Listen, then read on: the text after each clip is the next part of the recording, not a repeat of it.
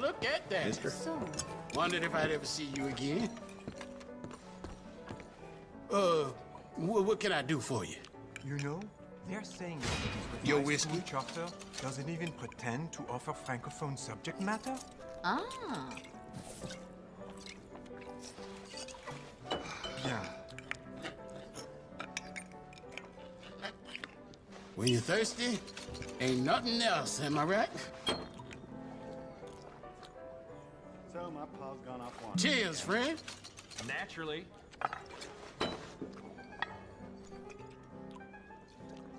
Nothing like a good beer.